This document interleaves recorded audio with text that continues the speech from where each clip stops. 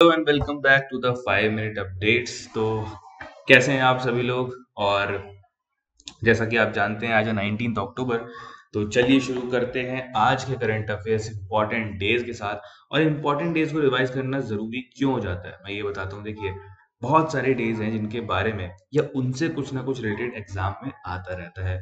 तो आपको पता होना चाहिए कि किस दिन को इंटरनेशनली और नेशनली किस तरीके से सेलिब्रेट किया जाता है या मनाया जाता है या किस दिन, किस दिश किस दिन को किस उपलक्ष्य में रखा गया है, ठीक है?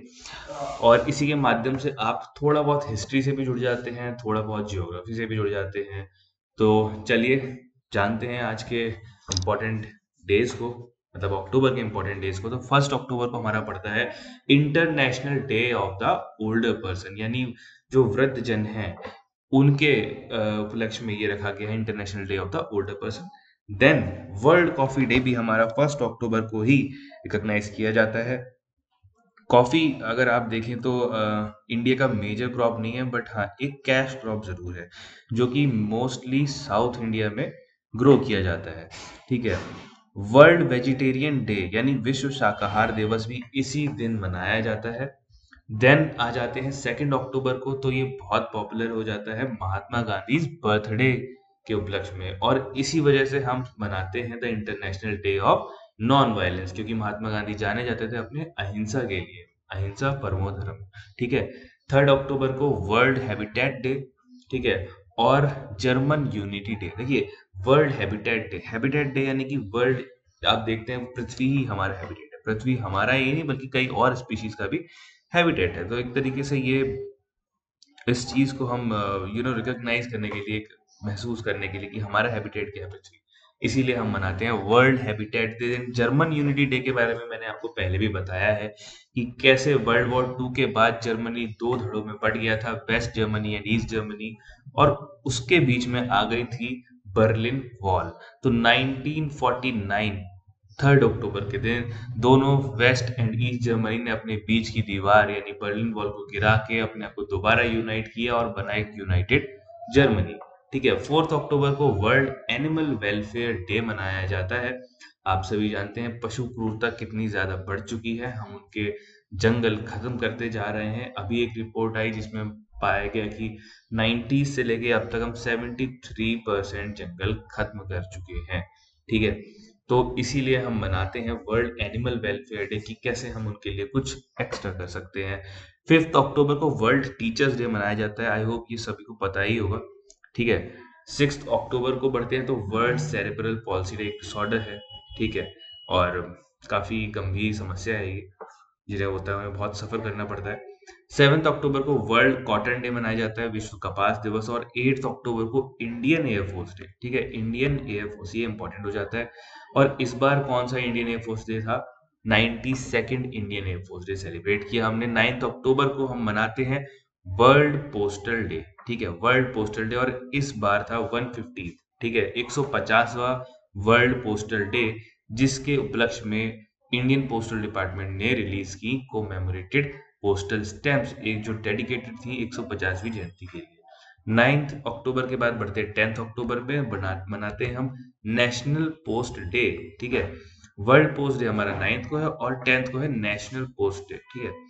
साथ ही में रिकॉग्नाइज किया जाता है mental world mental health day ठीक है? वर्ल्ड मेंटल हेल्थ डे देखिए, आप सभी लोग जानते हैं कि फ़िज़िकल हेल्थ के तरह ही मेंटल हेल्थ भी कितनी इंपॉर्टेंट हो जाती है because people are suffering nowadays from depression anxiety stress a lot तो इसीलिए वर्ल्ड मेंटल हेल्थ डे यानी मानसिक जो हमारा स्वास्थ्य है उसके लिए जागरूकता फैलाने के लिए वर्ल्ड मेंटल हेल्थ डे मनाया जाता है। और साथ ही इस बार टेंथ अक्टूबर को वर्ल्ड साइट डे भी है जो चेंज होता रहता है हर साल। लेकिन वर्ल्ड साइट डे हम मनाते हैं आईज से रिलेटेड इश्यूज़ को आ, उसके बारे में अवेयरनेस फैलाने के लिए। ठीक है? जैसे कि आ, हमारी आई ब्लाइंडनेस हो गई या हमारा जो मायोपिया प्रेस बायोपिया जो जिस तरह की जो ये डिज़ीज़ पाई जाती है और साथ ही इसमें एक और चीज़ छुपी हुई है कि इस बार इस बार इंडिया को ओ ने सर्टिफिकेट दिया है एक डिज़ीज़ एलिमिनेट करने के लिए जैसे हमें पोलियो के लिए भी मिल चुका है और उस डिज़ीज़ का वो आई से रिलेटेड ही डिज़ीज़ है उसका नाम अगर आपको याद हो तो आप बता सकते हैं। फ़िलहाल अगर आपको याद नहीं है तो मैं आपको बता देता हूँ, उसको कहते हैं हम ट्रैकोमा, ठीक है? क्या कहते हैं हम?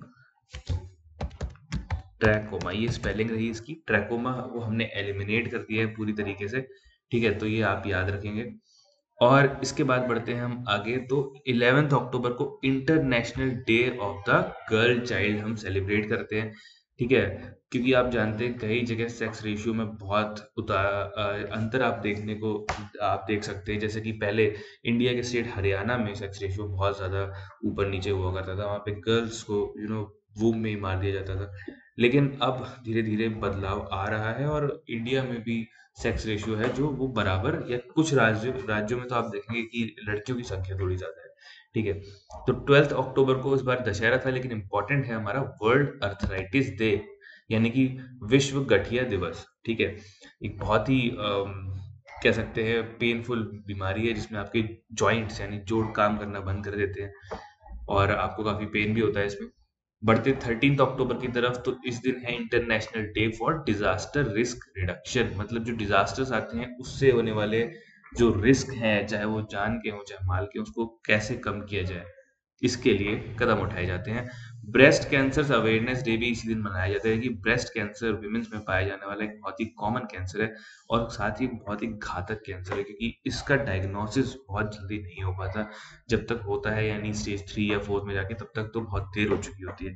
इसीलिए इसके बारे में अवेयरनेस फैलाने के लिए हम मनाते हैं breast cancer awareness day fourteen October को वर्ल्ड स्टैंडर्ड्स डे यानी विश्व मानक दिवस हम मनाते हैं, जैसे हमारे स्केल्स हो गए मीटर्स किलोग्राम लीटर्स इन सबको, इन सब के उपलक्ष्य में हम मनाते हैं world standards day fifteen October को आ जाते हैं तो वर्ल्ड स्टूडेंट्स डे मनाया जाता है doctor A APJ Abdul Kalam ji की याद में, और वर्ल्ड वाइट केन डे भी इसी दिन मनाया जाता है। व्हाइट केन हमारा एक इक्विपमेंट होता है जो यूज़ किया जाता है हमारे ब्लाइंड पीपल की तरह क्या इक्विपमेंट होता है जो छड़ी होती है व्हाइट कलर की, जो फोल्डेबल भी होती है और खुल जाती है, उसे व्हाइट केन कहा जाता है।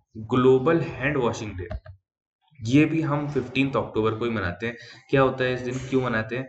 हम सैनिटेशन को सैनिटेशन को यू नो उसके बारे में अवेयर करने के लिए ग्लोबल हैंड वॉशिंग डे मनाते हैं। आप सभी जानते हैं कि अगर हमारे हाथ साफ़ नहीं है तो हाथों से ही हम ज़्यादातर चीज़ें कंज्यूम करते हैं तो कितनी सारी बीमारियों को हम निमंत्रण दे रहे हैं। इसीलिए हैंड वॉशिंग बहुत ज़रूरी है रेगुलर इंटरवल्स पर रेगुलर टाइम पर। और international day of rural women भी हम फिफ्टीन अक्टूबर को मनाते हैं, ठीक है? साथ ही सिक्सटीन अक्टूबर को बढ़ते हैं तो वर्ल्ड फ़ूड डे यानी विश्व खाद्य दिवस हम मनाते हैं। और हम मनाते हैं world anaesthesia day anaesthesia is a drug और इसे दिया जाता है ज़्यादातर ऑपरेशन से पहले, ठीक है? जिसे आप का वो एरिया या आप की होल बॉडी थोड़ी मतलब सुन हो जाए, आपको पेन फील ना हो, इसीलिए एनेस्थीसिया दिया जाता है। वर्ल्ड स्पाइन डे भी हम इसी दिन मनाते हैं, ठीक है? स्पाइन डे और सेवनटीन अक्टूबर को आते हैं तो international day for eradication of poverty यानी गरीबी उन्मूलन के लिए या कह सकते हैं गरीबी को कम करने के लिए, हटाने के लिए international day for eradication of poverty हम इस दिन रिकग्नाइज करते हैं। इस कदर इस यू नो इस चीज़ में हम कदम उठाते हैं, कैसे हम पॉवर्टी को खत्म करें। जैसे इंडियन ने भी मनरेगा जो जिसे मैंने, और नरेगा भी थी, मनरेगा इसको हमने चालू किया। इसी के साथ साथ हम कह सकते हैं कुछ ऐसी योजनाएँ जिनसे हम इनडायरेक्टली किसानों को या गरीबों को हम फ़ायदा पहुँचा रहे हैं, उससे हम पॉवर्टी कम कर सकते हैं, ठीक है? स्कॉलरशिप भी उसी का एक पार्ट है। और साथ ही मनाते हैं हम महर्षि वाल्मीकि जयंती। महर्षि वाल्मीकि यानी कि रामायण के रचयिता, ठीक है? करंट अफेयर्स पे आ जाते हैं अपने वन लाइनर्स पे, जो आज के हिसाब से इम्पोर्टेंट है या पिछले एक दो दिन के हिसाब से इम्पोर्टेंट है। तो सबसे पहला हमारा हो जाता है every year on October 18 world menopause day is observe globally ठीक है? तो विश्व रजो निवृत्ति दिवस, काफ़ी कठिन नाम है, लेकिन इंग्लिश में बोलेंगे वर्ल्ड मेनोपॉज डे, ठीक है? मेनोपॉज अगर मैं आपको नहीं पता तो बता दूँ। देखिए, एक उम्र तक ही विमेंस में देखा जाता है कि उन्हें पीरियड्स आते हैं, उसके बाद पीरियड्स फिर आना जब बंद हो जाते हैं, उस सिचुएशन को कहा जाता है मेनोपॉज यानी इसके बाद एक तरीके से ऐसा माना जाता है कि इसके बाद उनकी चाइल्ड कंसीव करने की जो क्षमता होती है, वो चली जाती है। मतलब उसके बाद प्रेगनेंसीज होना हार्ड हो जाती हैं। ठीक है? तो बढ़ते हैं अपने सेकंड अपडेट की तरफ़, जो है India has provided over 487 crore in loans to Mauritius for the water pipeline replacement project देखिए इंडिया अपने जो सहयोगी देश हैं, उसमें, उनमें उन्हें काफ़ी हेल्प करता है। जैसे अभी मालदीव्स को भी हमने काफ़ी बड़ा इन्वेस्टमेंट दिया अराउंड 4.3 बिलियन डॉलर्स का इन्वेस्टमेंट हमने श्रीलंका में किया। इन्वेस्टमेंट क्या? एक सहायता दी है। इन्वेस्टमेंट तो हम अपना भी कुछ देखते हैं, लेकिन हमने सिर्फ़ सहायता दी है, ठीक है? इसी तरीके से हमने नेपाल और बांग्लादेश के साथ हमने एक you know power project sign किया, जिसमें एक ट्राइलेटर पावर प्रोजेक्ट है। नेपाल और बांग्लादेश और इंडिया इसमें हम पावर सप्लाई करेंगे। हम पावर प्रोडक्शन करेंगे नेपाल में डैम्स क्रिएट करके और देन उसको सप्लाई करेंगे इंडिया और बांग्लादेश में। तो इस तरीके से और हमारा बजट बहुत ज़्यादा रहता है भूटान के लिए भी around seven two eight hundred crore हम एवरी ईयर भूटान में भी स्पेंड करते हैं। तो अपने पड़ोसी देश में इंडिया काफ़ी स्पेंड करता है। तो यहाँ पे एक जल पाइपलाइन प्रतिस्थापन परियोजना, यानी कि वाटर पाइपलाइन जो है रिप्लेस करने की जो परियोजना है, उसमें इंडिया ने अभी इन्वेस्ट किया है। मॉरिशस में, ठीक है? मॉरिशस में एक और अपडेट है मॉरिशस के बारे में। मॉरिशस के पास एक आइलैंड हुआ करता था।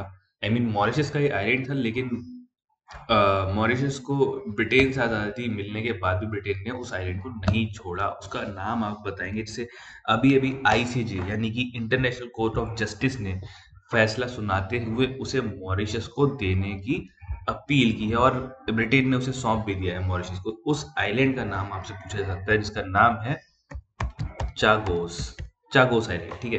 तो चागोस आइलैंड जो है, इसे, जिस पर ब्रिटेन का अभी तक कंट्रोल रहा है इसे मॉरिशस को पूरी तरीके से सौंप दिया गया है, ठीक है?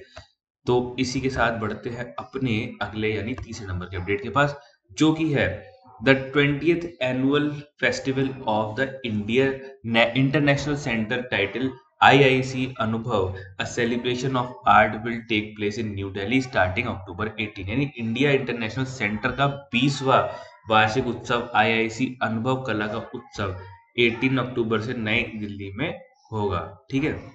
तो आईआईसी की फुल फॉर्म भी आप यहाँ पे देख सकते हैं क्या है India international centre India international centre का। कौन सा है ये? ट्वेंटी ट्वेंटी ठीक है? बीसवा वार्षिक उत्सव जिसका नाम है अनुभव कला का उत्सव आईआईसी अनुभव कला का उत्सव कहाँ पे होगा? नई दिल्ली में 18 अक्टूबर से ठीक है? फोर्थ पे बढ़ते तो the central board of direct taxes has amended income tax rules for salaried employees ठीक है? यानी केंद्रीय प्रत्यक्ष पर प्रत्यक्ष कर बोर्ड ने वेतन भोगी कर्मचारियों के लिए आयकर नियमों में संशोधन किए हैं। तो जो टैक्सेस अब तक हम भरते हैं उनके कुछ रूल्स एंड रेगुलेशन में कुछ हमने संशोधन किए हैं। मतलब गवर्नमेंट ऑफ़ इंडिया ने फिफ्थ हमारा अपडेट हो जाता है in the shooting world cup finals India's Vivaan Kapoor won a silver medal in the trap event on October 17 तो विवान कपूर जी जो है, उन्होंने शूटिंग वर्ल्ड कप फाइनल्स में इंडिया को सिल्वर मेडल दिलाया है, ठीक है, चांदी का तमगा दिलाया है. सिक्स हमारा हो जाता है renowned actor Devraj Roy passed away at the age of 69 खैर, ये इतना इंपॉर्टेंट नहीं है, फिर भी आप जान सकते हैं. सेवेंथ अपडेट है the supreme court upheld the constitutional validity of section 6a of the citizenship citizenship act, ठीक है? तो जो नागरिकता कानून है, जिसकी धारा है सिक्स ए को संवैधानिक रूप से वैध करार दिया गया, क्योंकि आजकल आप जानते थे कि कुछ सालों से सी ए ए पे बहुत बात चल रही है कि नागरिकता कानून लाया जाएगा, जिसके तहत जिन, जो लोग बाहर के रहने वाले हैं अफ़गानिस्तान, पाकिस्तान, बांग्लादेश में जो माइनॉरिटीज हैं, जिनके साथ वहाँ पे भेदभाव हो रहा है या उठाए जा रहे हैं, वो इंडिया आ सकते हैं और नागरिकता ले सकते हैं। ठीक है? सीए वैसे भी एनआरसी से अलग है, ये आपको जानने की ज़रूरत है। ठीक है? सेबी ने स्टॉक एक्सचेंज मैकेनिज्म के ज़रिए डेट सिक्योरिटीज में लिक्विडिटी विंडो फैसिलिटी शुरू करने का ऐलान किया है। यानी SEBI announce the launch of liquidity window facilities for debt securities through stock exchange mechanism देखिए सिक्योरिटीज जैसे आप शेयर्स को जानते होंगे शेयर्स लोग खरीदते हैं, बेचते हैं, लोग शेयर्स में इन्वेस्ट कर शेयर्स लेते हैं कंपनीज़ में इन्वेस्ट करने के लिए, ठीक है? और शेयर मतलब एक कंपनी में कुछ हिस्सेदारी आपको मिल जाती है। तो इसी तरीके से सिक्योरिटीज भी जैसे आप शेयर्स को खरीद सकते बेच सकते हैं इसी तरह सिक्योरिटीज को भी खरीदा बेचा जाता है। मेनली इन, इनकी खरीद फरोख्त होती है कंपनीज़ या बड़े यू नो इन्वेस्टर्स के द्वारा। ये शायद सबके लिए ओपन नहीं होता। तो इसके लिए लिक्विडिटी विंडो फैसिलिटी जो है अभी सेबी ने स्टार्ट करी है। सेबी ने स्टार्ट करी। सेबी एक रेगुलेटरी बॉडी है स्टॉक एक्सचेंज की ठीक है? और बढ़ते हैं। Union minister Nitin Gadkari inaugurated the international methanol symposium and exhibition organised by the NITI Aayog in new Delhi on October 17 तो केंद्रीय मंत्री मंत्री नितिन गडकरी ने 17 अक्टूबर को नई दिल्ली में नीति आयोग द्वारा आयोजित अंतरराष्ट्रीय मेथनॉल संगोष्ठी एवं प्रदर्शनी का उद्घाटन किया देखिए मेथनॉल मेथनॉल बहुत इंपॉर्टेंट हो जाता है। जैसे कि आप इथेनॉल भी जानते होंगे, इथेनॉल जैसे कि हम पेट्रोल में यूज़ कर रहे हैं, इसी तरह मेथनॉल भी हमारा काफ़ी एक इम्पोर्टेंट फ्यूल की तरह यूज़ में आता है। उसी के उपलक्ष्य में अंतरराष्ट्रीय मैथनॉल संगोष्ठी का एवं प्रदर्शनी का उद्घाटन किया गया है दिल्ली में, ठीक है? बढ़ते अपने टेंथ अपडेट की तरफ़, जो कि है इंडिया अर्जुन एरिगैसी ने शतरंज मास्टर्स कप जीता है। यानी India Arjun Erigaisi won the chess masters cup ठीक है? उनका नाम आप याद रख सकते हैं इंडिया इंडिया के अर्जुन एरिगैसी ठीक है? इन्होंने चेस मास्टर कप जीता है अभी।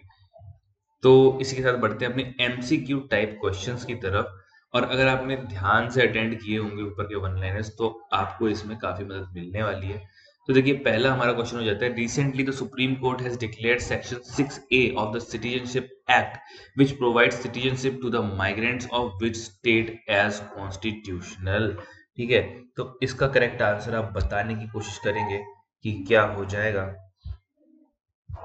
और इसका करेक्ट आंसर हमारा हो जाता है आसाम। देखिए, आसाम में बहुत ज़्यादा घुसपैठ होती है बांग्लादेश की तरफ़ से। ठीक है तो बांग्लादेश की तरफ़ से होने वाली घुसपैठ को रोकने के लिए आसाम काफ़ी यू नो कदम उठाता रहता है और कोशिश करता है कि किसी तरीके से एनआरसी आए और वहाँ से अवैध बांग्लादेशी को निकाला जाए। बट ये इतना आसान भी नहीं है। खैर, बढ़ते अपने सेकंड क्वेश्चन की तरफ़। According to NCRB report 2024 what is the percentage annual increase in student suicide case in India हाँ तो चलिए दोबारा से बोलते हैं। सेकंड क्वेश्चन जो हमारा है according to NCRB reports 2024 what is the percentage annual increase in student suicide case in India देखिए, आप जानते हैं कि पढ़ाई का और इन सब चीज़ों का मतलब बहुत सारी चीज़ें पढ़ाई हो गई, साथ में हमारा रोज़गार हो गया, रोज़गार इस बार बेरोजगार, इस समय बेरोजगारी बहुत ज़्यादा है इंडिया में। तो इस सब का कितना प्रेशर होता है एक स्टूडेंट के ऊपर, जिसकी वजह से सुसाइडल टेंडेंसीज आ जाती हैं सुसाइड केसेस में बहुत रैपिड इंक्रीज देखा गया है, ठीक है? यहाँ पे आपको फिगर्स देखने को मिलेंगे two percent four percent six percent eight percent ये शायद आपको सोच, देखने में छोटे लग रहे होंगे बट अगर आप इंडिया के कॉन्टेक्स्ट में देखेंगे तो छोटे छोटे फिगर्स ही बहुत बड़े हो जाते हैं। तो इसमें कितने परसेंट का इंक्रीज आया है? कितने परसेंट का इंक्रीज आया है? तो ये करेक्ट आंसर हमारा हो जाएगा फोर परसेंट ठीक है? फोर परसेंट का इंक्रीज देखने को मिला है सुसाइड केसेस में। और थर्ड क्वेश्चन की तरफ़ हम अपने पढ़ते हैं तो हो जाता है recently India has provided a loan of rupees 487 crore in its own currency for the first time to which country for water pipeline replacement project ठीक है? तो ये मैंने अभी अभी आपको बताया था और मैं आशा करता हूँ आप इसका करेक्ट आंसर दे पाएँगे। मॉलदीव या मॉरिशस मॉरिशस ठीक है? मॉरिशस फोर्थ क्वेश्चन हमारा हो जाता है recently the Indian council of medical research has developed a hand held x ray machine to detect which disease ठीक है? तो Indian council of medical research यानी कि आईसीएमआर ने अभी अभी एक हैंड हेल्ड यानी हाथ से पकड़ी जाने वाली एक एक्सरे मशीन बनाई है किस डिज़ीज़ को डिटेक्ट करने के लिए। तो इसका करेक्ट आंसर आप बताएँगे तो इसका करेक्ट आंसर हो जाएगा टीबी यानी ट्यूबरक्लोसिस ठीक है TB option C fifth question हमारा हो जाता है when has SEBI recently announce the launch of liquidity window facility to overcome the liquidity crunch in the corporate bond market ठीक है तो लिक्विडिटी विंडो फैसिलिटी शुरू करने की घोषणा सेबी ने कॉर्पोरेट बॉन्ड बाज़ार में कब मतलब कब करी है? कौन सी तारीख को करी है? तो इसका करेक्ट आंसर आप बताएँगे। ठीक है? तो ये एक नवंबर को होने वाली है। एक नवंबर को होने वाली है, अभी हुई नहीं है। सिक्स क्वेश्चन हमारा है who recently organize the international methanol symposium and exhibition in New Delhi ठीक है? तो इसका अभी आप करेक्ट आंसर बताएँगे। इसका करेक्ट आंसर हमारा हो जाएगा नीति आयोग। ये सारे क्वेश्चन देखिए, वही आ रहे हैं जो अभी भी मैंने आपको वन लाइन उसमें कराए तो आपको बहुत ध्यान से उन्हें सुनना होता है, तभी आप करेक्ट आंसर दे पाएँगे। सेवेंथ हमारा हो जाता है where recently was the formation of India Turkey friendship association announce the strength in India Turkey relation देखिए, बहुत टाइम से इंडिया और टर्की के रिलेशन में दरार देखने को मिल रही थी। ठीक है? और लेकिन अभी कुछ समय से कुछ चेंजेस ऑब्ज़र्व करने को मिले हैं। टर्की ने अब कश्मीर इशू को भी उठाना बंद कर दिया है।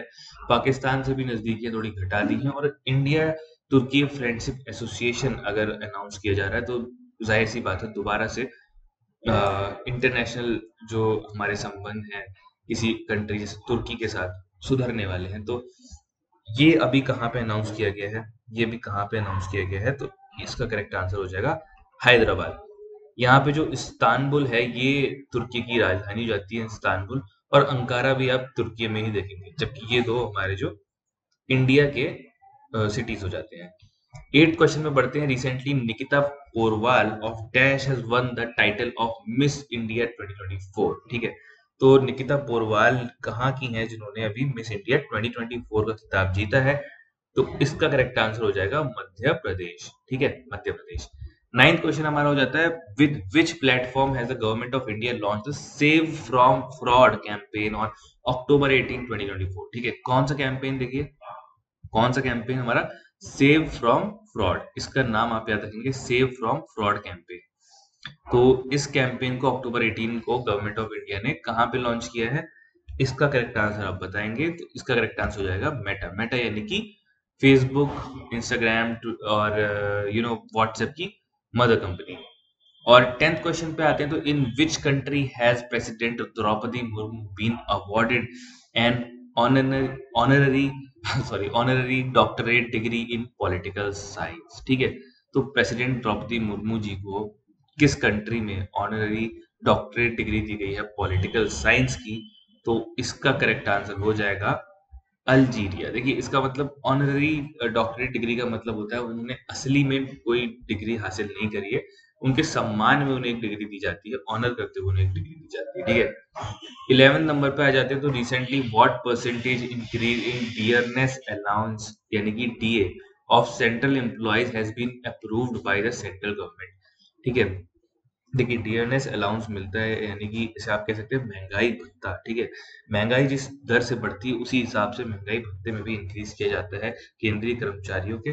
तो ये अभी अप्रूव किया गया है और कितने परसेंट बढ़ा है, इसका करेक्ट आंसर आप बताएँगे तो ये बढ़ा है थ्री परसेंट यानी कि ऑप्शन ए हमारा हो जाता है थ्री परसेंट ठीक है? थ्री परसेंट ट्वेल्थ क्वेश्चन हमारा हो जाता है recently which state has the government given approval to NABARD to start thirty five projects देखिए नबार्ड हमारा जाता है national bank for rural development ठीक है? National bank for rural development इसको 35 प्रोजेक्ट स्टार्ट करने के लिए किस प्रदेश ने मंजूरी दी है?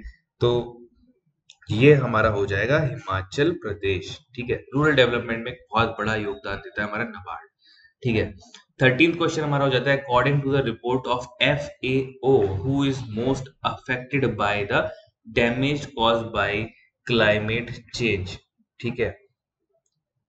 इसका करेक्ट आंसर आप बताएँगे, यानी एफ़ की रिपोर्ट के अनुसार कौन जलवायु परिवर्तन से होने वाले नुकसान से सर्वाधिक प्रभावित है? तो देखिए, इसका करेक्ट आंसर हमारा हो जाएगा रूरल फार्मर रूरल फार्मर और देखिए एफ़ की फुल फॉर्म हमारी होती है, क्या होती है? फ़ूड एंड एग्रीकल्चर ऑर्गेनाइजेशन ठीक है? फ़ूड एंड एग्रीकल्चर ऑर्गेनाइजेशन ने अभी भी यू नो अपनी रिपोर्ट में दावा किया कि रूरल फार्मर जो है, उसको सबसे ज़्यादा नुकसान होने वाला है हमारे क्लाइमेट चेंज से। फोर्टीन क्वेश्चन अगर आते हैं तो हो जाता है which is the last country to join the recently discussed Shanghai cooperation organization यानी एस की जो मीटिंग अभी अभी इस्लामाबाद, पाकिस्तान में हुई है, आप जानते ही हैं, इसमें लास्ट कंट्री ज्वाइन करने वाला कौन सा बन गया है? तो ये हमारा हो जाता है Iran. Iran is the last country ठीक है? आते हैं अपने लास्ट क्वेश्चन की तरफ़ तो जो हो जाता है recently according to the new guidelines, the use of which word has been banned in the advertising of brands, ठीक है? तो तो देखिए, इसका आप बताएँगे हमारे सेकंड सॉरी लास्ट क्वेश्चन का। Recently according to the new guidelines the use of which word has been banned in the advertising of brands ठीक है? तो इसका करेक्ट आंसर आप बताएँगे। सस्टेनेबल हो जाएगा नेचुरल हो जाएगा और ऑर्गेनिक हो जाएगा। क्योंकि आप जानते हैं कि जो ब्रांड्स हैं, वो बहुत बेवकूफ़ बनाने लगे हैं कि देखिए, ये ऑर्गेनिक प्रोडक्ट है, ये नेचुरल है, ये सस्टेनेबल है, लेकिन असल में होता कुछ नहीं है। ऑर्गेनिक के नाम पे आप सिर्फ़ केमिकल्स कंज्यूम कर रहे हैं और नेचुरल के नाम पे भी सिर्फ़ केमिकल्स का ही कंज्यूम आप कर रहे हैं। ठीक है सस्टेनेबल कुछ भी होता नहीं है बिकॉज़ इन्वायरमेंट को डिस्ट्रॉय करके ही ये सब बनाया जाता है। तो इसी वजह से इसे इन तीन वर्ड्स को अच्छे से बैन कर दिया गया और ये बहुत ही सराहनीय और अच्छा कदम है। तो इसका करेक्ट आंसर हो जाएगा ऑल ऑफ़ द एबव मतलब तीनों वर्ड्स को बैन कर दिया गया, ठीक है? तो इसी के साथ देखिए, हमारे करंट अफेयर्स आज खत्म होते हैं और मैं यही कहना चाहूँगा हैव अ गुड डे ठीक है? और साथ में देखिए please subscribe to the channel इससे एक मोटिवेशन मिलता है सुबह सुबह वीडियोस बनाने का और इन सारे क्वेश्चंस को ढूँढने का और रिकॉर्ड करने का। और इसी के साथ एक और इन्फॉर्मेशन है कि अगर आप पीडीएफ डाउनलोड करना चाहते हैं तो आपको डिस्क्रिप्शन से हमारी वीडियो के लिंक मिल जाएगा हमारे टेलीग्राम चैनल का, जिसे ज्वाइन करके आप डेली पीडीएफ डाउनलोड कर सकते हैं, वहाँ से पढ़ सकते हैं। और साथ ही वहाँ से आपको मिलेंगे डेली क्विज क्वेश्चन जिन्हें आप अटेम्प्ट करके अपने आप को दिन भर में बार बार रिवाइज कर सकते हैं। और मैं अगेन कहूँगा, हमसे जुड़ने का फ़ायदा यही है कि आप बिना किसी बकवास के या बिना किसी टाइम गवाए। बिना कि हम आपको चैट रेस्पॉन्सेज भी सुना रहे हैं, कोई भी बेकार की बातें नहीं करते तो आप डायरेक्टली यहाँ से पढ़ के स्विच कर सकते हैं अपने किसी और सब्जेक्ट की तरफ़। तो ठीक है, इसी के साथ thank you have a good day bye bye and subscribe to the channel